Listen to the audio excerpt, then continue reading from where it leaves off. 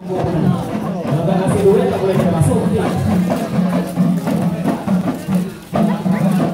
yang nantinya akan mau menampilkan Pancasila, jangan ke mana-mana dulu, jangan pura-pura sakit perut.